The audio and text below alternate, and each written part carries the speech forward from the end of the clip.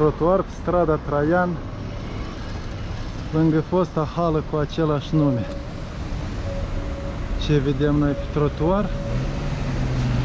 În fața unei porți pe care scrie nu parcați autospecială de poliție, care nu e în misiune, nu are gerofarul pornit, deci staționează ilegal.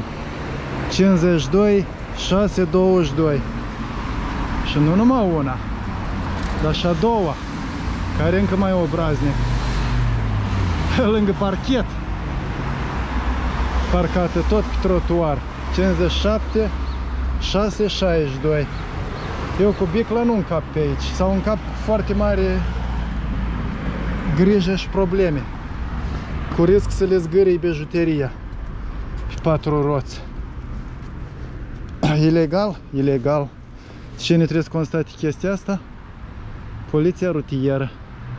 Avem așa ceva? Avem, dar e la fel de incompetentă. S-ar putea să fie chiar mașină de-a lor asta.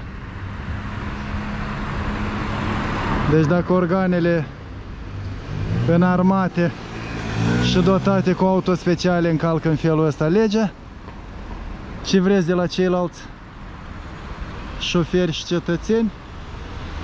să nu mai vreți nimic.